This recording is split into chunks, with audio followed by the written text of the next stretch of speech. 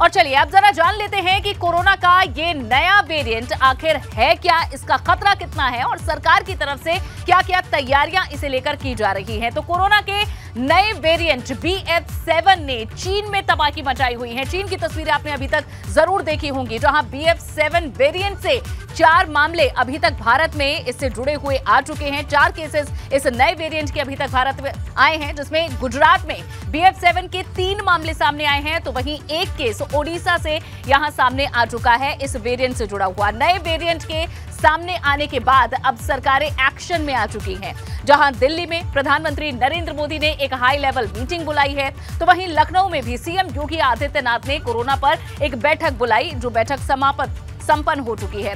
देहरादून में भी सीएम पुष्कर सिंह धामी ने एक बैठक आज बुलाई थी। दिल्ली के सीएम अरविंद केजरीवाल की भी एक अहम बैठक। इसी चिंता को लेकर है कि क्या ये नया वेरिएंट किसी तरह की परेशानी खड़ा कर सकता है? देश के तमाम राज्यों में कोरोना पर खास अलर्ट जारी किया गया है। संसद में प्रधानमंत्री नरेंद्र मोदी आज मास्क पहने हुए नज़र आए। जहाँ संसद के दोनों सदनों में सभापति भी मास्क में ही दिखे थे। सभी ने मास्क पहना हुआ था। सदस्यों के लिए भी ज़रूरी दिशा निर्देश जारी किए गए हैं, क्योंकि अभी सेशन चल रहा है। दिल्ली में सभी सांसद पहुँचे हुए हैं। ऐसे में इस जगह पर भी मास्क लागू कर दिया गया है और साथ ही जो भी एहतियाती कदम हैं, वो भी उठाए जाएँगे। और चलिए, इसको और ज़्यादा बेहतर तरीके से समझते हैं कि आखिर क्या ये खतरा बड़ा है। इससे किस तरह से बचने की ज़रूरत है? क्या सावधानी बरतने की ज़रूरत है? ये अब हम समझेंगे। और इसके लिए कुछ मेहमान भी हमारे साथ जुड़ चुके हैं। सबसे पहले डॉक्टर रमा श्रीवास्तव हैं। पूर्व अध्यक्ष हैं आप आईएमए लखनऊ से।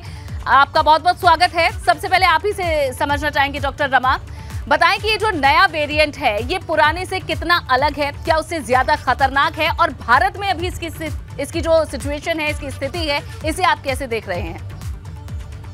देखिए चाइना से जो रिपोर्ट्स आ रही हैं आप ही लोगों के थ्रू जो फोटोग्राफ्स मिल रहे हैं या जो गवर्नमेंट के रिलीजेज हैं उनके हिसाब से तो ये वेरिएंट वहाँ पे जानलेवा साबित हो रहा है। जी। हमारे यहाँ अभी सिर्फ़ चार केसेस रिपोर्टेड हैं लेकिन खतरा बना हुआ है। क्योंकि किसी भी वायरस का क्या लाइफस्टाइल रहेगा क्या उसकी सिग्निफिकेंस रहेगी और किस पर वो कितना प्रभाव डालेगा या दुष्प्रभाव डालेगा ये तो जब नंबर ऑफ़ केसेस ज़्यादा हो जाते हैं तब ये स्टडी या रिसर्च से साबित होता है।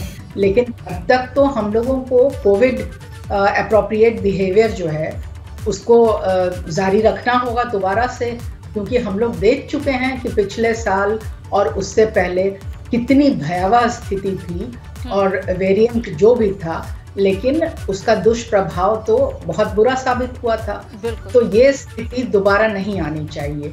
कतई नहीं आनी चाहिए क्योंकि जो हो चुका है उससे हम सबको बहुत सीखने की ज़रूरत है और सावधान रहने की ज़रूरत है सभी स्टेट्स की सरकारें तो अपनी अपनी कोशिशों में लगी ही हुई हैं लेकिन जब तक आम जनता इसके लिए सक्रिय रूप से सहयोगी नहीं होगी हम्म। और कोविड अप्रोप्रिएट बिहेवियर जैसे कि फेस मास्क लगाना है भीड़ भाड़ से अलग रहना है या भीड़ भाड़ जुटाना नहीं है सोशल डिस्टेंसिंग मेंटेन करनी है हैंड सैनिटाइजर या हाथ धोना बार बार इसको प्रैक्टिस में लाना जो, है। जो अभी तक शायद लोगों को रट चुका है कि क्या आपको करना है सोशल डिस्टेंसिंग का ख्याल रखना है आपको आ, साफ़ सफ़ाई का ख्याल रखना है और संक्रमण कम से कम फैले इस बात का ध्यान आपको अपनी सुरक्षा के लिए अपनों की सुरक्षा के लिए ज़रूर रखना है। ये मुझे लगता है कि अभी तक हमारे तमाम दर्शक और भारत की जनता समझ चुकी है।